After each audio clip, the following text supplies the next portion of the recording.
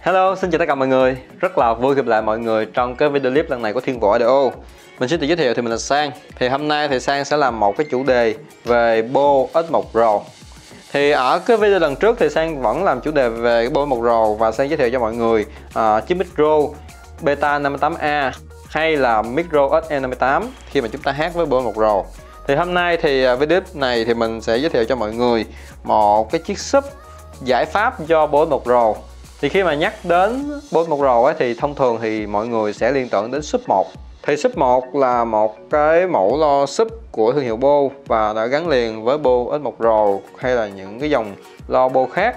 Tuy nhiên thì hiện tại thì mức giá sub 1 thật sự khá là cao và nó cũng rất là khan hiếm hàng thì uh, giá của bô X1 Pro là 17 triệu và giá của sub 1 hiện nay là 29 triệu 280 nghìn đồng.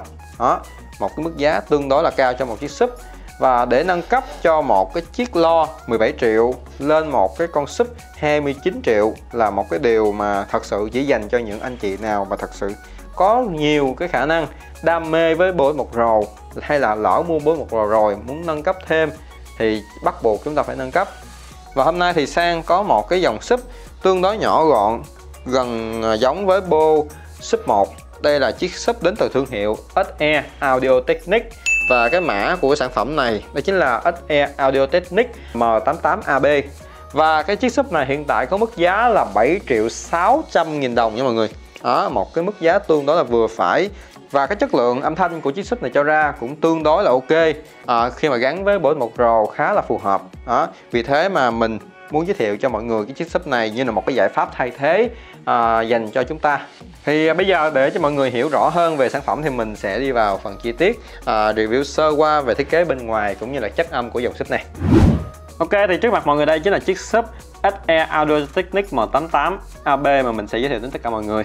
Thì uh, chiếc sub này mình đang đặt nằm ngang. Sub có thể đặt nằm ngang hoặc dọc tùy theo cái sở thích cũng như là cái nhu cầu cái không gian thiết kế ở nhà chúng ta cái diện tích nhà chúng ta nhiều hay ít đó. Thì phía bên dưới này thì ờ, khi mà mình đặt nằm ngang thì có bốn cái chân đế ở dưới. Ngoài ra thì bên đây thì nhà hàng cũng thiết kế chúng ta bốn cái chân ở bên bên phía bên đây nè, chúng ta có thể đặt dọc. Và chiếc sub SE Audio Technic M88AB này, nó cũng có thiết kế tương đối gần giống với chiếc sub 1 của chúng ta. Về cái kích thước bên ngoài thì ờ, mình sẽ dùng găng tay để cho mọi người dễ hình dung. Về chiều ngang thì nó sẽ khoảng tầm 3 găng tay của mình nè. Ừ về chiều dọc thì chỉ hơn một găng tay một tí thôi. Còn độ sâu của nó là khoảng tầm hai găng tay. Và cái thiết kế lớp vỏ bên ngoài của cái chiếc sub này được làm từ chất liệu gỗ MDF thì cái chất liệu gỗ MDF này được sơn phủ bên trên bởi một cái lớp sơn nhám sờ vào rất là đã tay nha mọi người. Cái lớp sơn này được làm từ chất liệu polyurea đó một cái chất liệu chống thấm cũng như là giúp cho lo có cái độ bền bỉ uh, khá là cao và bên đây trước mặt chúng ta thì mọi người có thể thấy nè nhà hãng thiết kế logo SE Audio Technic mạ chrome phía trước nhìn rất là xịn. Thì thật sự để nói thì đối với những cái dòng sản phẩm đến từ thương hiệu SE thì mình đánh giá là có một cái chất âm tương đối là hoàn hảo tương đối là ok. Thì à, từ những cái dòng như là dòng lo sub M88AB cho đến những dòng MF3 cao hơn thì chất lượng âm thanh cho ra khá là tốt đánh giá là dòng SE này nó cũng không thua kém gì đối với những dòng Lobo hay là dòng CBL thì nói về cái phần bên đây nè, mọi người có thể thấy thì bên đây nhà hãng thiết kế cho chúng ta một cái lỗ thoát hơi khá là rộng nha, khoảng tầm một gang tay. Và phía bên trong này chúng ta có thể thấy là có một cái mạng lưới. Nhìn thẳng vào bên trong nữa, chúng ta có thể thấy được những linh kiện ở bên trong này. Thì đó là về phần mặt trước của lo. Thì nói về phần mặt sau của lo thì mọi người có thể thấy nè. Để mình xoay ra cho mọi người xem. Ok, mọi người, thì đây chính là cái mặt sau của chiếc sub SE Alotechnic M88AB nè. Đó, thì mình đặt đứng cho mọi người dễ hình dung hơn nha. Thì à, đối với cái dòng sub này thì nó chỉ là những cái phần cơ bản của một chiếc sub thôi. Mọi người đã thấy nè, ở đây là sub lever, thì chúng ta có thể tăng giảm cái độ lớn nhỏ của tiếng sub đó, lát mình sẽ mở cho mọi người cảm nhận giữa có sub và không có sub như thế nào. Đó, phía bên đây đó chính là rod server thì cái này mình sẽ cắt cái dãy âm trầm từ 70 cho đến 140 thì mình muốn nó gọn thì mình cắt ở cái phần giữa như vậy. Còn nếu mà mình muốn nó à, nghe nó hầm hố hơn thì mình sẽ bật ở cái chế độ ở phía bên đây. Đó chúng ta sẽ đặt ở cái khoảng dãy tầm 100 mấy trở lên. Thì đó là về cái à, Rode server này. Thì uh, thông thường á thì mình sẽ để đối với cái combo một rò thì mình sẽ để khoảng tầm 120 cho cái con sub này. Đánh từ 70 cho đến 120 còn cái phần cao hơn từ 90 trở lên thì mình sẽ cho con Boeing 1 Pro đánh. Như vậy nó sẽ chia ra, nó sẽ nghe hay hơn và nó đồng bộ hơn rất nhiều. Phía bên này thì nhà hãng cho chúng ta là ba dải đèn nè. Đèn power, báo hiệu nguồn, cái đèn signal là báo hiệu cái tín hiệu đi vào, tín hiệu nhạc rồi đó. Còn cái đèn limit này là cái ngưỡng, đèn báo hiệu cái ngưỡng tối đa của âm thanh. Đó, khi mà chúng ta thấy đèn chớp đỏ thì chúng ta nên giảm lại phía bên dưới này nhà hãng cho chúng ta một cái ngõ input thì à, ở cái sub 1 thì mình nhớ là nó khoảng tầm 3 ngõ. Ba hay hai ngõ mình không nhớ rõ nhưng mà đối với cái con này nó chỉ có một cái ngõ duy nhất thôi. Phía bên này là đánh pha sub pha nè. Thì chúng ta nếu mà đánh à, không độ thì chúng ta sẽ đánh lan tỏ hơn. Còn nếu mà chúng ta đánh 180 thì chúng ta sẽ đánh ở phía trước. Phía bên dưới này chính là cái nút nguồn power. Đó, thì theo cảm nhận riêng của mình nha thì mình thấy cái nút nguồn này nhìn nó hơi bị lúa đó, nếu mà nó để màu đen đồng bộ luôn á, thì nhìn nó sẽ hay hơn, nó sẽ đẹp hơn. Còn phía bên dưới này chính là cái cổng nguồn nè, đó. Thì theo như ờ, cái cảm nhận về cái chất âm của cái con sub này á, thì mình cảm nhận thấy thì con sub này nó đánh một cái dải âm thanh, âm trầm nghe khá là êm. Đó. Chúng ta đánh nghe cái âm thanh nó nghe nó gọn. Nó không có phải là nó bị rền quá. Nó cũng không phải là nó lớn quá. Tuy nhiên nó có cái độ gọn cái độ chắc của tiếng sub nghe nó kết hợp với bốn một Pro thì thật sự khá là hay. Cái công suất của cái con này là 150W nha mọi người. Nhưng mà cái công suất tối đa của nó là 200 tuy nhiên thì đối với một cái con sub mà có mức giá khoảng 7 triệu 6 bằng 1 phần tư của chiếc sub 1 thì thật sự thì đây đã là một cái sự lựa chọn một cái giải pháp tương đối là hoàn hảo rồi ok lắm rồi.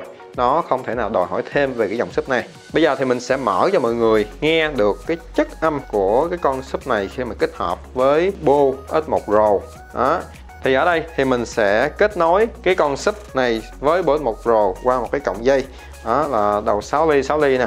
Đó, chúng ta sẽ cắm vào đây đầu còn lại chúng ta sẽ cắm vào cái ngõ layout của bô đó, như vậy là xong. Rất là đơn giản nha mọi người. Không có gì là phải phức tạp cả. Còn ngõ này chúng ta chỉ cắm nguồn thôi. Ok, bây giờ thì mình sẽ mở cho mọi người cảm nhận được cái chất âm của con dòng này nha.